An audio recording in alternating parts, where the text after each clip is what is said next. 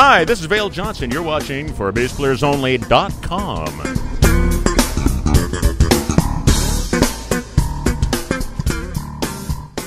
Hi everyone, Jon Liebman here. You're watching for BassPlayersOnly.com.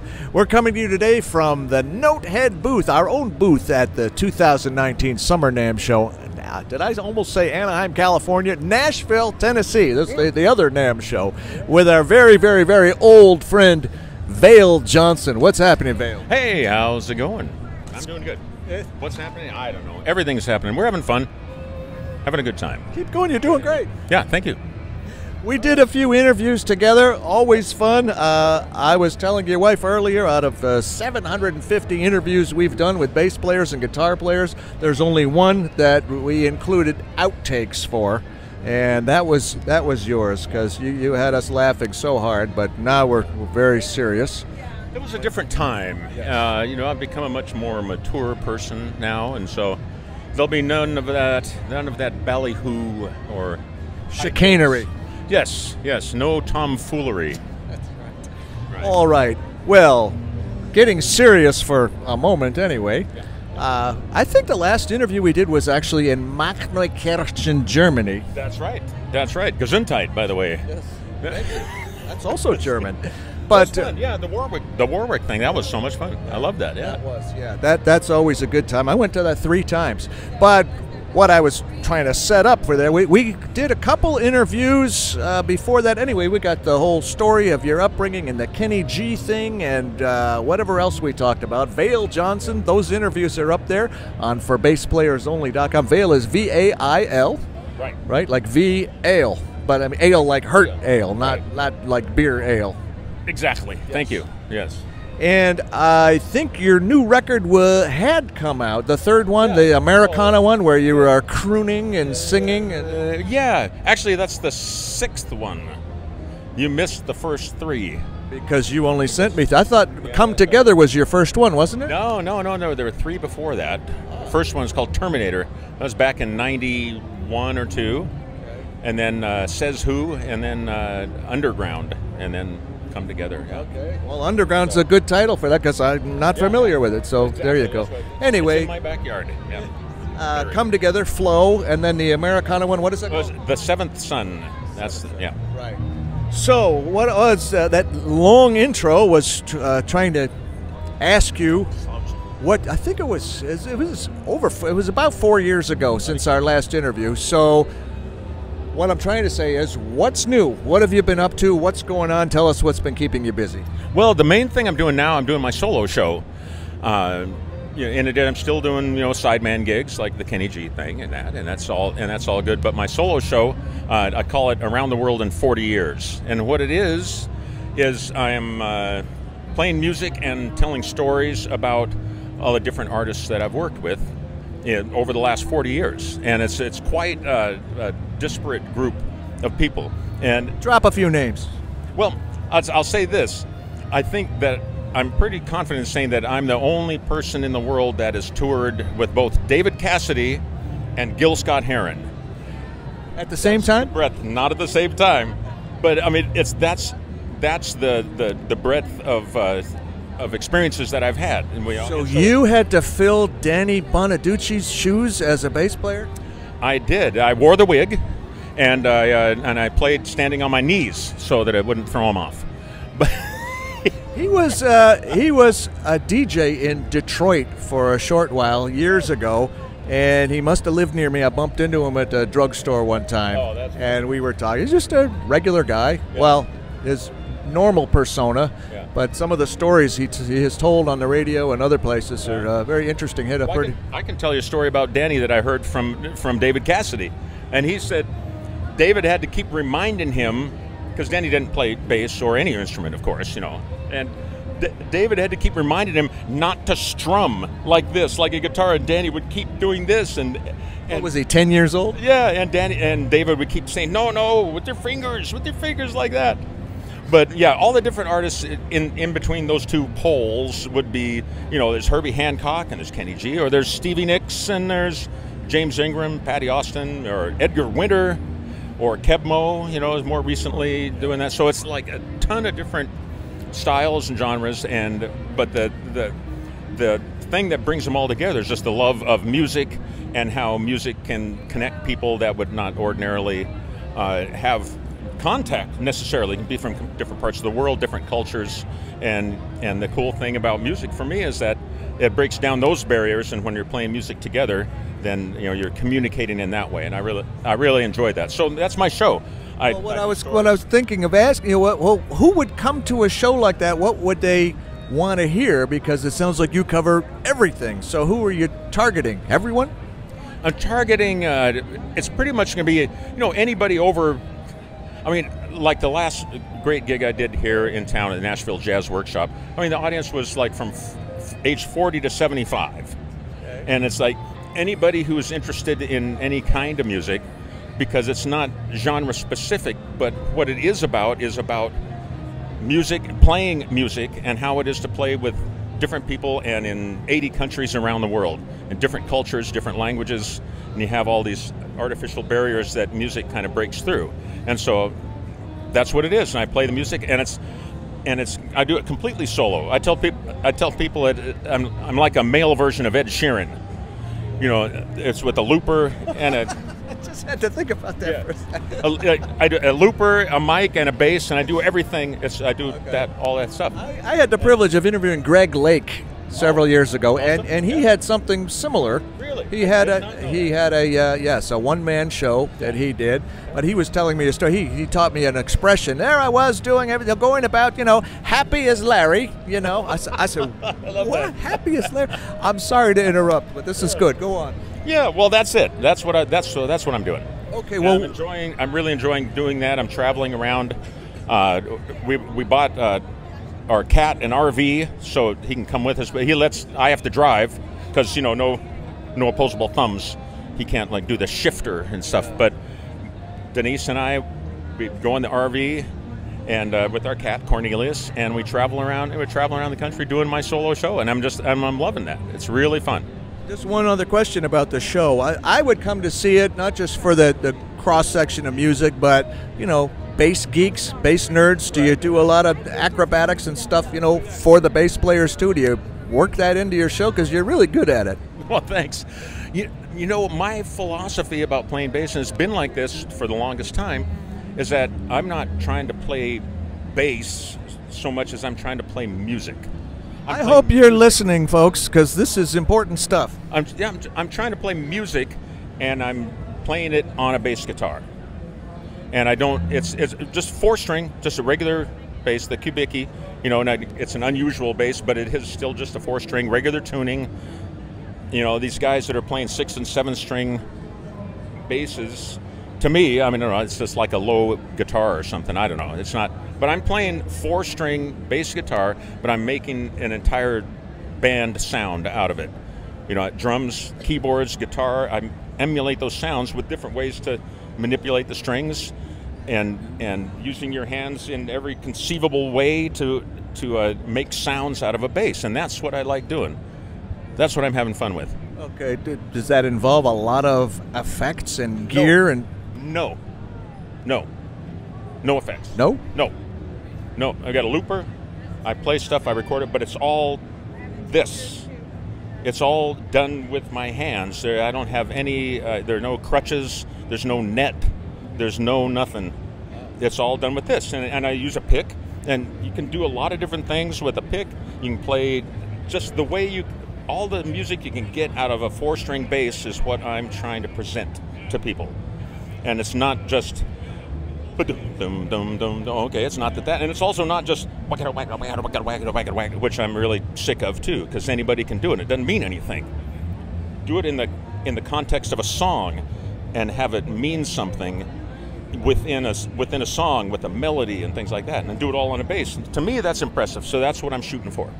Gotcha. Tell me a little bit more about your equipment. I was talking to Mike Tobias, and I know he's very proud to have you as uh, somebody who likes my wife on questions about my equipment. She's more intimately uh, knowledgeable of that. Uh, well, that'll be for our other website. Oh, my gear. Oh, yeah, bass gear. Got it. Um, so, bass gear, you didn't think this interview was going to go that smoothly, did you? With you, I never know.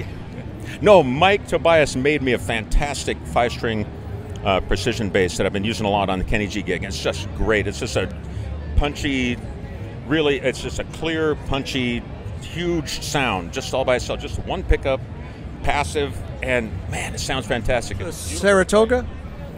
yeah. Yeah, it's one that he. I, I think he had his hands in this one, you know, and in, but a Saratoga model, yeah. And um, man, it's it's fantastic. I just love it. Five string is a little bit of a departure for you, isn't it? I've been playing the five for a long time, you know, on uh, you know on sideman gigs, because that's you know a lot of guys really like the extra range down there, and and, and so I, don't- I don't mind playing it when it comes to my personal thing and my solo stuff. I always play the four, but the but the five, it's like yeah, you got the extra range, sure, that's it. And these- range is fun. You can't assume anymore. I assume it's the low B is the fifth string. Right, right, yeah, just BEAD on there, yeah. Okay. Yeah. What kind of strings do you play? I am using the MJC Ironworks strings. The new guy, Mike Connolly, is making these fantastic strings Yep. with the old machines from I don't know how old they are, 40 years old maybe or something. They and you know, putting things together with his hands on these machines. It's not a computer-aided, you know, automated thing. And he gave me a set of the strings, and I thought they were fantastic. It's like the Dean Markley's were in the 80s, uh-huh. which for me were great, and then they got not great and man, I just love them. They were just super consistent, and and the the response is just unparalleled for me. I just so it's like going back to like the original Blue Steels in a way, you know, from way back then. And then it's I just when I played them, I said this just this reminds me of what I was this give me what I was missing in uh, in the modern ones that Low B included, right? yeah yeah with the low B yeah yeah, and it, it's just really balanced well. It's great. I mean, the low B sounds as good as the other four, is what I meant. What about uh, amplification? Well, you know, for my solo thing, I've gone back to using a component system. Uh, you know, like a small PA, basically. You know, either a biamped or a triamped uh, system. You know, with 15s, which I which I love the sound of. You know, direct front-loaded 15s, and uh, which are not like technically subs because they have a lot of. I still have a lot of mid. It's not it's not a subwoofer 15. You know, I use just the front-loaded ported cabinet. You know, and it gets a lot of the mids uh, up to up in the five six hundred range. You know, it's the really, which is an important part for me to get the clarity when I'm playing chords on a bass, and I need to have that clarity. So yeah, I was using the component thing. I haven't found, and you know, any uh, modern amps that that will do what I'm what I'm looking for. You know, in a louder setting. Are you playing the Valve Train amps anymore? The valve train thing I use in my studio, and and it's fantastic for that. Now it's just a 50 watt head, you know, and and and that you know when I try to play that at a, on a live gig, it's just not designed for that, and it's just it won't do it. If I had 10 of them, you know, that probably on the serious side, I'd probably need at least that many, you know. But uh, you know, the valve train, the tone is fantastic, but it's a studio and a low volume thing, you know. Yeah. So for certain gigs, it would be good, depending on the player and the ambiance, the atmosphere, and all that other stuff. Yeah, yeah. Let me ask you, I want to talk a little bit more about technique. I mean, you, you made a pretty good point there, and I want to know if you can maybe elaborate on something a little bit. In addition to the, the interviews for which we have been known for uh, over 10 years now, about 600 or so plus bass interviews, plus a whole bunch of guitar interviews. But uh, on For Bass Players Only, we've also migrated over all the content from my instructional site, formerly known as jonliebman.com.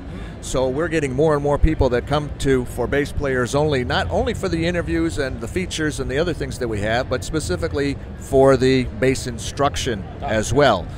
We've got about 150, 160 courses right now, and we're in uh, pretty much every state in the U.S. and almost 50 countries worldwide, and we're growing pretty fast.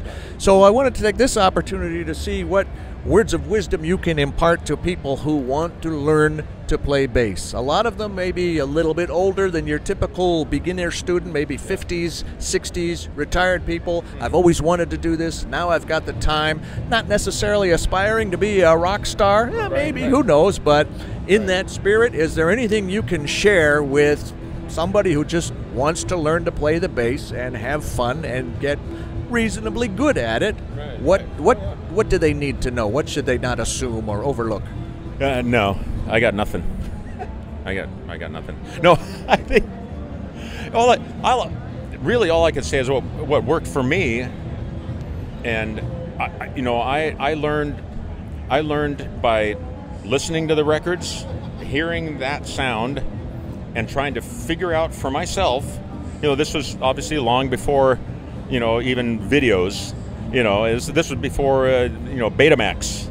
You know, even and but you hear the sound on the on the record. So now you, you put on a CD and, and you listen and you hear that sound, and you get your bass, and you if you like that sound and you want to figure out how to do that, I can't really tell anybody how to do it. Figure it out for yourself, and that's and I think that that's what led to me discovering all these different sounds I can get out of a bass. It's like you sit there and somebody doesn't show you, okay, do this and that, and then just get it, make the sound with your fingers, and you'll you'll you'll hear all the diff- all the ways to not make that sound, and eventually you'll get it, and you're like, oh, that's the technique. It's kind of a trial and error thing, and I think that's really important. A lot of people want a shortcut, and I don't think there is one for, for for getting a sound, and then the sound really is the end product of of whatever training you're doing, whatever theory you have, and whatever instruction you have. The sound is the end result. So what is what does it sound like? And that's why getting on fingering with the uh, cable here. But there's different. There's an infinite ways of playing the instrument. And for you, you got to figure out how you can make that sound. It's not the way I'm going to make. It's not the way I do it. Because I've shown people, I've you know when people ask me, you know, how do you do that? And I'll say, what, you know, that's it. Okay, slow it down. Okay, I'll show them how to do it, and they try to do it, and they're just, I can't do that. I said, well, you're not going to do it the way I do it, you know, and I and and I'm not doing it the way this guy does right. it. You got to figure it out for yourself. That's where the work comes in. That's why it's not easy. There's no easy way to do it. There really isn't. I, I, sat down with Billy Sheehan in Germany for, for oh, about yeah, yeah, for yeah. about an hour and a half, right, right. and he was showing me stuff. He says that's how I do it, but you can figure out a way to do it. And every time I pick up the bass, I learn something new and I try something different. But when you say sound, you don't mean just tone. You mean articulation and attack and all of those things yes. as well. Yeah. Yes. I mean, because the end result of whatever it is you're trying to do, what does it sound like? When is it coming back to you out out out of the amp? You know or in your headphones. What's what what does it sound like? So yeah, tone is a t- tiny part of that. It's mostly here, and it's like you say, and it's even something for me. You know, like note duration is a big thing for me. I pay a huge amount of attention to that when I'm playing, and that and that creates a lot of space in a tune, and there and yet, you know, for and that's something you know for the people that are doing it for a living or want to do it for a living, and so when that's critical, you know, there's nothing worse than a than for me than a bass player that just plays long, just leaves notes hanging yeah. constantly, and they're changing around. You know, but there's a specific time where it where it sounds really cool to just let go and and and stop the note, and that actually creates another note. Just the lack of bass happening is another note you're not playing it, you know. But there are times where it's appropriate and desirable to let the note ring all the and way. That's, until... And that's the thing. When you have contrast within a song, then all of a sudden it really means something. But it does it doesn't make any sense if you're just if you if you played if every note you played was just a quarter note, you know, throughout the whole song. Okay, that's kind of boring. Or if every note is a whole note. But you got to find the spots where here's the whole note works, and then you, you know you actually lift a song like going into a pre-chorus, you lift a song by playing less. Yeah. A lot of the time, you know, you play a shorter note, you know, or more notes but that are short, you know, and it's just there's all these different ideas that that can help help the song sound better and give it motion and uh, and, and have the feel. And it's just so much more to it than just boom boom, or dum dum dum dum dum dum dum dum dum dum dum. You know why I'm saying dum dum dum dum dum dum dum dum dum dum dum. It's like, wow, wow, I'm so bored. Who are you calling dumb? Dum dum dum dum dum dum dum. You know, this is the longest conversation I've ever had with you without laughing uncontrollably. Bass is serious business. Yeah. Well, I have a lot to say about about music. Yeah. That's why I'm doing my own thing. Nobody else will work with me. No, I actually part of it was I, I started getting frustrated with with finding people that, that you could depend on to to be you know in your in your group that's that's not a major touring act and people that could you know kind of play with you and not against you know At you? Yeah, at Too you, bad you couldn't like call a bunch of bass players because you know we're reliable. Hey, I, That's the thing. Yeah, yeah I- I- exactly. I may have asked you this in some of our previous interviews or not. I don't remember, so I'm going to ask you again now, or ask you maybe again, maybe not again, but I'm going to ask you. What would you be if you weren't a bass player? Something outside of music. I just remember I did. I did ask you. did ask yeah. so okay. I'll come up with something else. Uh, well, how about something truthful? something truth. I was truthful before about being a motorcycle racer. I would, I would have wanted to do that. You know, yeah. So professional athletics was that was something I was looking at when I was in high school, and then once I started playing, you know, college ball and got injured badly, then that decided for me. What sport was that? You know, well, in football, but I was, but I also played basketball and I wrestled and I was played lacrosse and I was, and uh, so this at the University of Washington. Yeah, but you got the sports mixed up. You were playing basketball and you tackled the guy from the other team, right? Well, I did play basketball that way too. Yeah, that was rough. But um, yeah, I would probably, you know, and actually, I would have gone in. I would have gone into the military right out of high school. On our side, I hope. Yeah, next, next, no, Ukraine. Yeah, yeah, because the Ukraine girls really knocked me out. You know, get it? Yeah. Beatles reference, danger. Um, Just saw that movie yesterday, uh, last week. oh, You know? really? Yeah. Is it good?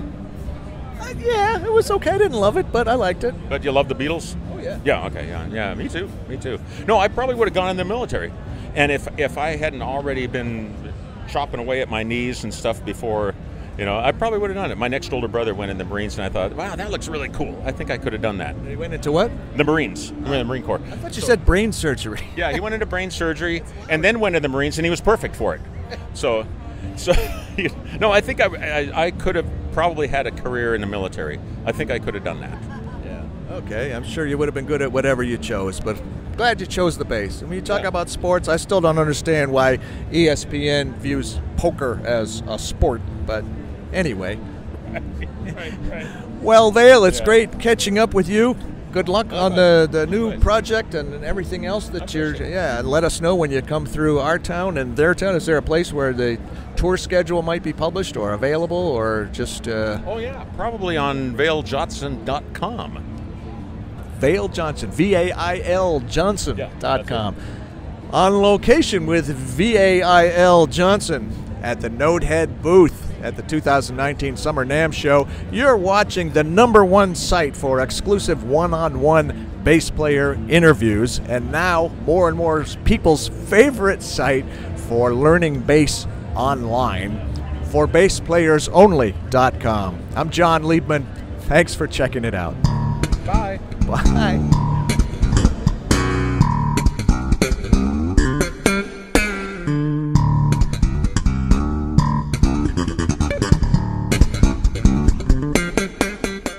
So, Jon, tell me, what's it like being around so many uh, really cool musician type people? Well, Vail, I will tell you this much. It's been a very exciting time here at the show. I'm really enjoying uh, meeting new- some new people, and it's a lovely thing. Okay. Cut the crap. What's it really like?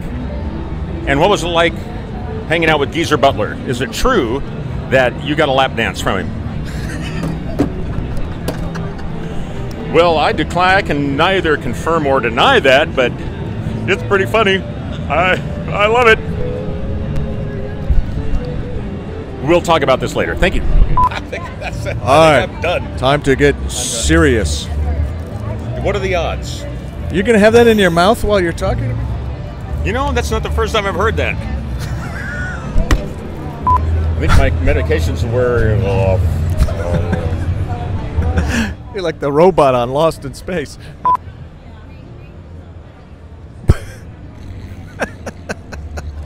Hi, everyone. Jon Liebman here. You're watching.